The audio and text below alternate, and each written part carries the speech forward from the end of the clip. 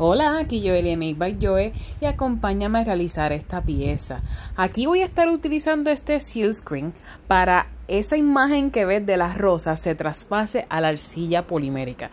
Siempre este efecto me fascina, como queda ese resultado demasiado sublime, así que prepárate para que lo veas.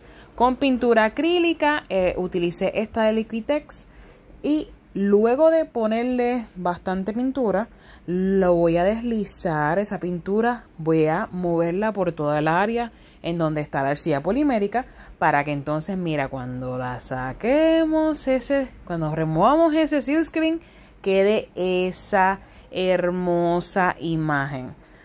Quede enamorada. Ahora, una vez que ya esté seca eh, la pintura, pues entonces procedemos a cortar las piezas y utilicé este cortador que me gustó mucho porque la otra parte quedan como que las partes sueltas y es una pantalla que se mueve mucho.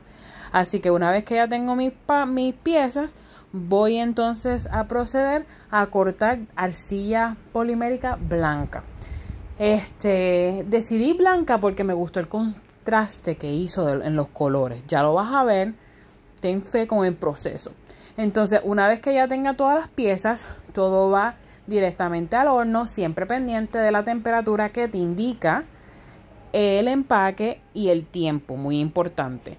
Una vez que ya estén curadas, se elija, se perfora y entonces quedaría este hermoso resultado que va ya mismito a aparecer por aquí en 1, 2 y 3. Mira qué preciosura. Me fascinan. Quiero unas para mí. Ya estoy antojada. Tengo que parar. Eh, si te gustó, comenta, comparte y sígueme para más contenido. Bye.